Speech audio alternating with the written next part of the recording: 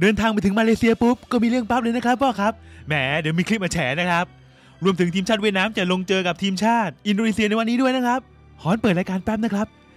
ยินดีต้อนรับเข้าสู่ channel ความลับ ฟุตบอลไทยอีกครั้งนะครับ ใครไม่กดติดตาม ใครไม่ด่า ฝากด่าและฝากติดตามด้วยครับการทางพ่อนะครับแหมกดไลค์ผมก่อนหนึ่งครั้งนะครับเพราะการกดไลค์ของพ่อแล้วก็แม่แทนค่ามาม่าหนึ่งเส้นนะครับ วันนี้เนี่ยฟุตบอล AFF Mitsubishi Electric Mr. Slim and Heavy Duty แอร์เย็นๆดีๆ ที่เราวางใจนะครับ เป็นการแข่งขันรอบ 4 ทีมแล้วนะครับ เวียดนามเดินทางไปถึงอินโดนีเซียแล้วนะครับ ก่อนที่จะฟังข่าวของทีมชาติไทย แล้วมาฟังข่าวของทีมชาติเวียดนามก่อนดีกว่านะครับ ว่าเขาอกสั่นขวัญแขวนอะไรกันบ้างในการไปเยือนอินโดนีเซีย ซึ่งผมชอบมากในการทำข่าวเวียดนามเวอร์ชันไปเยือนอินโดนีเซียนะครับข่าวล่าสุดของเวียดนามนะครับ ความอกสั่นมันแขวนก็คือ ทีมออนไลน์ที่ส่งนักเตะไปทีมชาติหลายคนด้วยกันนะครับ ตอนนี้ทีมแตกเรียบร้อยแล้ว นักเตะกระจัดกระจายไป มีนักเตะย้ายออกจากทีมไปเป็น 10 คนนะครับ แล้วแถมยกเลิกสัญญาอีก 3 คน ไอ้แก๊งที่มาร่วมทีมชาติเวียดนามตอนนี้ได้ข่าวว่าสมาทงสมาธิในการซ้อมนี่ ไม่เหลือแล้วนะครับ แล้วข่าวที่รบกวนสภาพจิตใจของเวียดนามไม่หมดแค่นั้นนะครับ เพราะว่าเมื่อวานที่ผ่านมานะครับประธาน VFF นายทึกคกถวนครับบอกว่า แหมอินโดนีเซียเนี่ยเขาทำเรื่องแล้วนะครับ เพราะว่าสตาฟโค้ชชาวเกาหลีใต้หลายคนนะครับที่เดินทางมากับโค้ชป้าขังเซานะครับ ไม่สามารถขอวีซ่าเข้าประเทศได้ทันจน VFF นะครับ ต้องดำเนินเรื่องให้ในการติดต่อสารทูตเวียดนาม เพื่อไปคุยกับ AFF นะครับ ให้ช่วยเหลืออย่างรวดเร็ว เพราะการมีหนังสือเดินทางเกาหลีใต้ ก็ต้องขอวีซ่านะครับใครที่เป็นคนเกาหลีใต้นะครับ แต่ประธาน VFF นะครับบอกว่าขอขอบคุณ AFF มาก ๆ ที่อนุโลม ที่ช่วยติดต่ออินโดนีเซียให้เข้าประเทศได้ในครั้งนี้นะครับ เป็นการอนุโลมในการเข้าประเทศนะครับ โอ้โห AFF ช่วยเวียดนามอีกแล้ว แต่เรื่องของเวียดนามเขาก็เครียดพอสมควรแล้วครับ เพราะว่าข่าวในอินโดนีเซียนะครับ มีการตีข่าวเกี่ยวกับการจัดการรักษาความปลอดภัย ขั้นสูงสุดมากกว่าแมชที่ทีมชาติไทยไปร่วมอีกนะครับ เพราะว่ามีการปรับปรุงการรักษาความปลอดภัยอีกครั้งหนึ่งหลังจากที่ทีมชาติไทยโดนทุบรถบัสนะครับ ตอนนี้ก็มีการจัดการจราจรใหม่ไม่ให้แฟนบอลเข้าไปยุ่ง การเดินทางของนักเตะทีมชาติเวียดนามแล้วนะครับเพราะว่าฟีฟ่าแล้วก็ AFC นะครับจับจ้องที่จะลงโทษอินโดนีเซียอยู่ เพราะว่าอยากได้ค่าปรับเหมือนกัน ไทยโดนมาแล้วในการจุดพลุเสียไปเป็นล้านนะครับ จุดแค่ดอกเดียวตังหายเลย นี่แหละครับพ่อครับ ทีมชาติเวียดนามก่อนเจอกับทีมชาติอินโดนีเซียครับ แล้วทีมชาติไทยตอนนี้เป็นอย่างไรกันบ้างครับ ทีมชาติไทยวันนี้นี่เปิดรูปด้วย 3 หนุ่มกันเลยดีกว่า 3 หนุ่มที่ลงช่วยทีมชาติไทยอย่างยาวนานครับ แล้วก็ถ่ายรูปเก๊กหล่อ เจ้ามุ้ยพร้อมที่สุดครับ เพราะว่า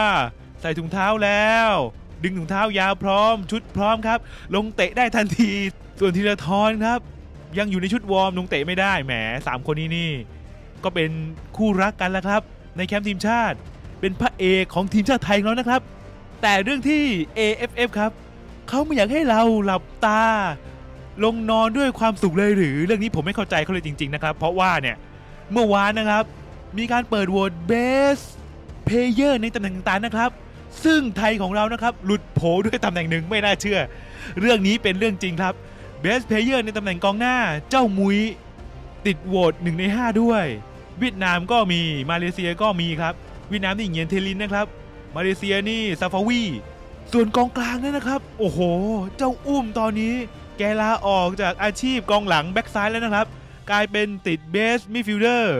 ที่ทาง AFF นะครับ เปิดโหวตด้วย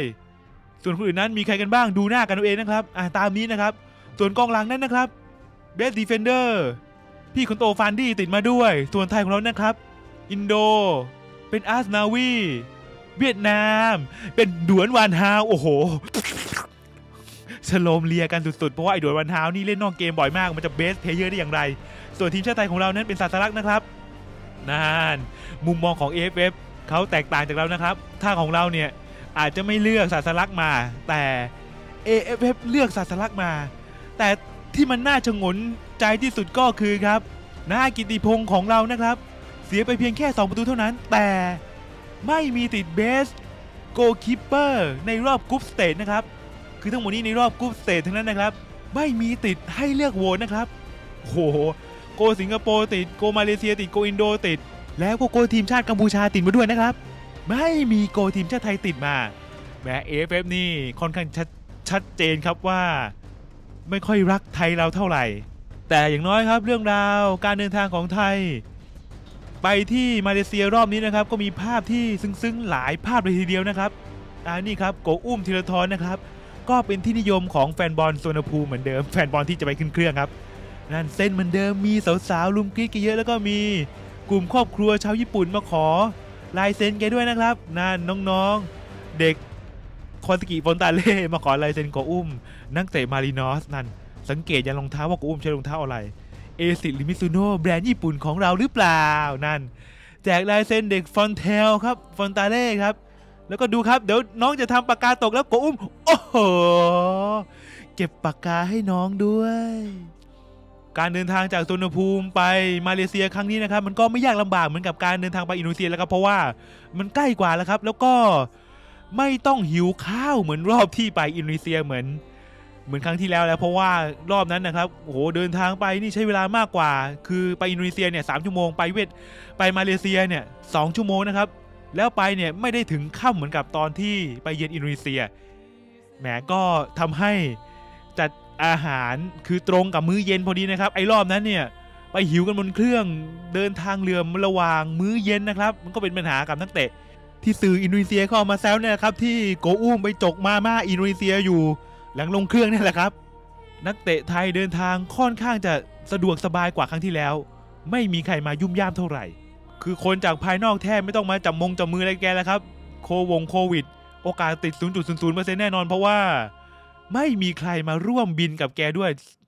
ทั้งเราเหมือนกับว่าจะมีแต่นักเตะทีมชาติไทยนะครับ ผมไม่แน่ใจว่าอย่างอย่างนั้นหรือเปล่านะครับ แยกกันชัดเจนพอสมควรเลยทีเดียวอาจบ เดี๋ยวไปดูเรื่องที่มันสะท้านใจแฟนบอลไทยก่อนดีกว่านะครับ ก่อนจะแข่งขันทีมชาติไทยเจอกับทีมชาติมาเลเซียนะครับ คือเรื่องที่คอนเสิร์ตเจโชเนี่ยมา เช่าสนามบูกิจจาริวเตเดียม ทำให้ทีมชาติไทยนะครับ ไม่ต้องกลัวผู้ชมที่โอ้โหทะลงทะลักมา 85,000นะครับเหลือแค่ 60,000 คนเท่านั้น เพราะว่าอะไรครับ มีสื่อออกมาแฉนะครับว่า ผู้จัดการสนามบริษัทที่จัดการสนามบูกิจจาริวนะครับ ปล่อยให้เจโชนะครับ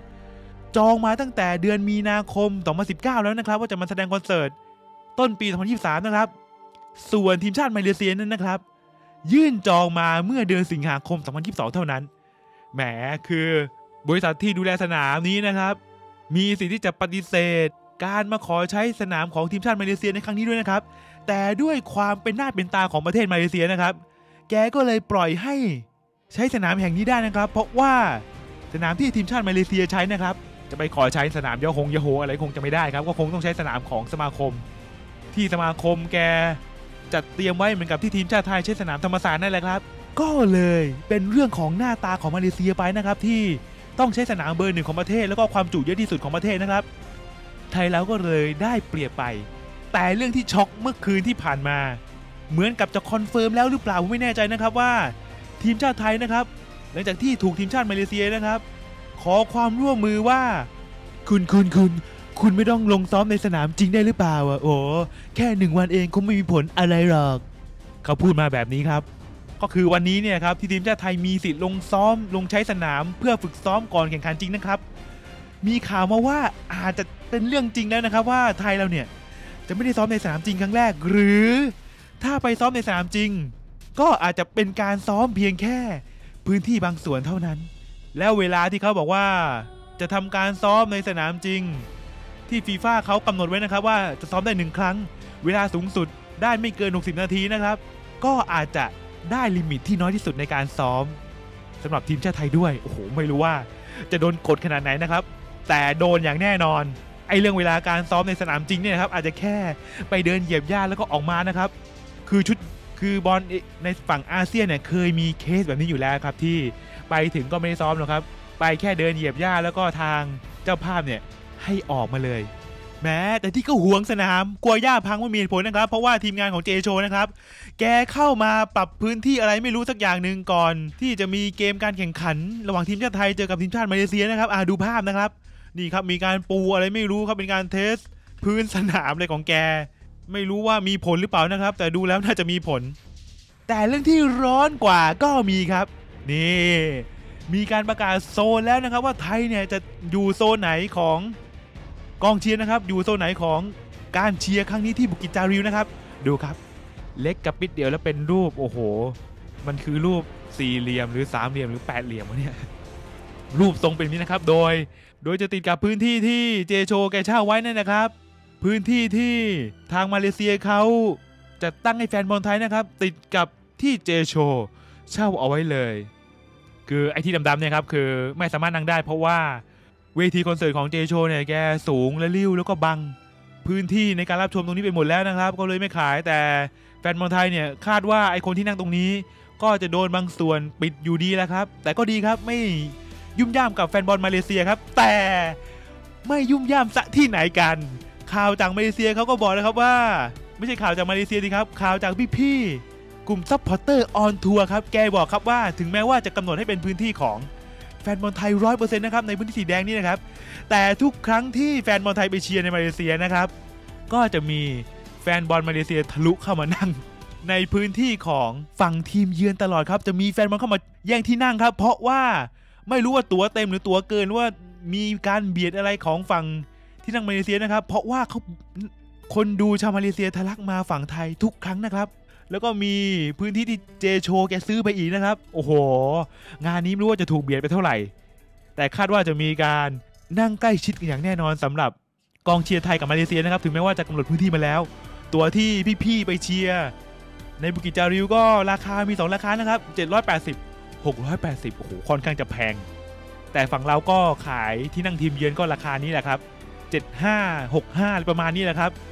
ถ้าคนไทยก็250นะครับตำแหน่งเดียวกันนี่แหละครับแต่คนละด้าน ก็ถึงว่าแล้วครับแหมนี่นี่ยครับ พ่อครับ คือความบันเทิงก่อนทีมชาติไทย เจอกับทีมชาติมาเลเซียนะครับ แล้วก็ก่อนทีมชาติเวียดนามครับจะเจอกับทีมชาติอินโดนีเซียนะครับ อย่าลืมครับ กดไลค์ผมด้วยสักหนึ่งครั้งพ่อการกดไลค์ของพ่อ